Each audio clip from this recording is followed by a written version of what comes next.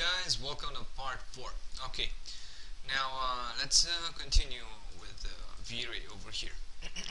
okay, over in the uh, V-Ray tab over here, you'll find uh, different, different options, general ones for uh, geometry, uh, lighting, materials, and ray tracing. In principle, you should leave these ones alone.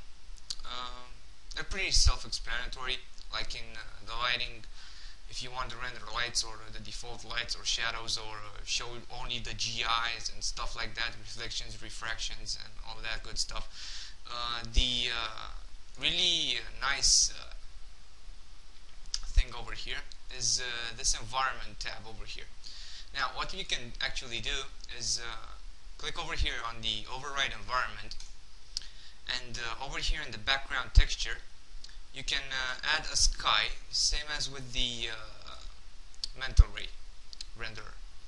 So just uh, click on this uh, little doohickey over here, go over here into image name, click on this folder, and just select the sky.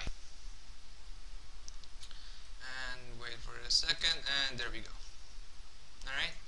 Now, you can actually play with it a little. Say if you want to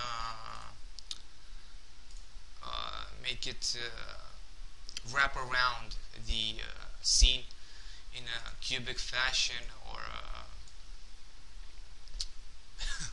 yeah, take a look at that. Uh, or a mirror ball or a screen or something like that. But uh, usually you should keep it under spherical. And the actual texture you put into this should be slightly uh, panoramic, for the lack of a better word. Okay. Now, uh, over here into the GI texture, you can either put in a texture or just edit the color. Usually, I go for something like a uh, I don't know cappuccino or sort of like this uh, butter color or something like that. Uh, this uh, basically dictates the uh, general uh, color of the light that uh, that's gonna be in your scene. Say if your scene it's something like a dawn or dusk, and you're usually gonna go with something like a color like this, I guess, something along these lines. But anyway, you I, you get the point of it. Okay, let's take it back and uh, something this. Okay. Okay, in the reflection and refraction texture, you can actually put in uh, reflections so that, uh, well, over here, for example, uh, if uh, we render this uh, right now without, without actually putting any textures into this, we're gonna see reflections of, uh, well, our bike or the ground if we're gonna put up a plane over here. But in the, it's not gonna reflect the sky, okay, the sky that we have over here. So uh, for that to actually uh, happen, we have to put uh, the same sky into this uh, little node over here. So uh, let's just click on this little guy over here, select file, and just do the same thing all over again. Okay, and this is pretty much it. There are, of course, a bunch of other options, but we'll keep it like this for now. Okay, in the indirect illumination, be sure to uh, have this clicked on and uh, be very cautious when you're uh, using reflective caustics because well uh, if you're having uh, a shader that has a very small eccentricity and uh, a very high specular specularity to it like this chrome engine over here this chrome shader um, you're gonna there's a possibility that you're gonna get some uh, artifacts come render time like some uh, small uh, white dots and stuff like that. So if that ever happens be sure to uh, uncheck the reflective caustics over here. Okay. Uh, now over here we have these are the basically the two engines uh, with which V-Ray actually works. Now by default your primary engine is uh, functions on irradiance on a irradiance map and the other one on brute force the other ones uh, focus on uh, other aspects like photons and light and stuff like that. But usually you should uh, keep it with irradiance and brute force, at least for now. And uh, the other same things are pretty, we're not gonna go into them right now. Same as with the settings over here and the translator and render elements. Okay, I very rarely go into those. But anyway, since we uh, had a look into this, let's uh, make a plane so that we have uh, actually have a ground on which the uh, our bike uh, sits on. Let's just make one real quick. Okay, let's resize it a bit. Boom, boom. Something like this. Okay.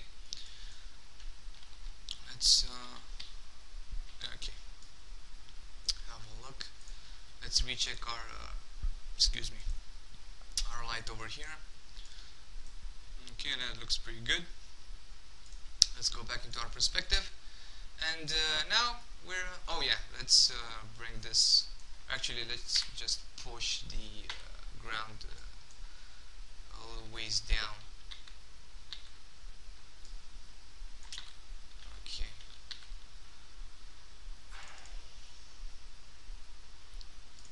This always happens. I don't really know why.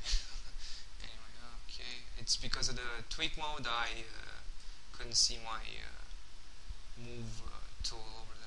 Okay, something like this, I guess, so that it doesn't uh, really eat our uh, tires up. Okay. Now we're pretty much uh, ready to set our render. let's yeah, let's smooth this out. Before though let's just give it 2 just to be sure okay something like this alrighty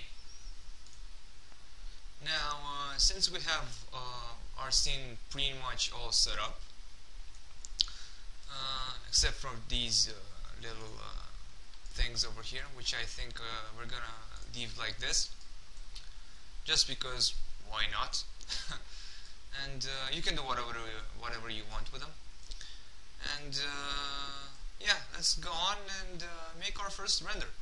So, let's go over here. We have uh, all our settings already set up. Let's put in something like uh, 720p, 1280 by 720, close, and then just uh, let's pick a, pick a sort of a more interesting angle over here. Um, something like this okay just uh, click on render let's see what we come out with. Okay now uh, this is gonna take a little while depending on your uh, PC uh, but uh, it should be done in a couple of minutes. Okay, so uh, this is pretty much what I came up with. It uh, was done in about 2 minutes and 5 seconds, which is pretty good.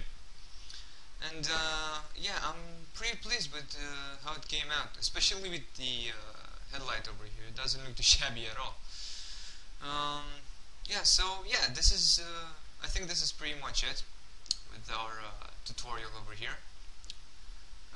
with the this motor motorbike as well if you want to modify uh, something, uh, add new textures or geometry or whatever, feel free to do so.